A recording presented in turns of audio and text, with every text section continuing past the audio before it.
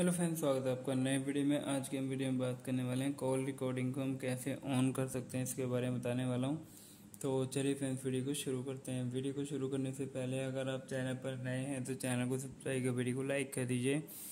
Friend जैसे कि आप देख सकते हैं, मेरे पास ये ओप्पो का फ़ोन है और आपको सबसे पहले क्या करना है, सेटिंग पर क्लिक करना है। तो क्लिक कर लेंगे फ्रेंड सेटिंग पर।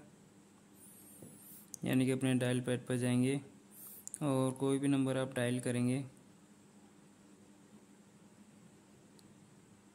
डायल करने के बाद आप देख सकते हैं, जैसे कि हमारा ये नंबर पिक हो जाएगा। पिक होने के बाद आप देख सकते हैं रिकॉर्डिंग पे क्लिक करेंगे और आपकी कॉल रिकॉर्डिंग जो है वो ऑन हो जाएगी।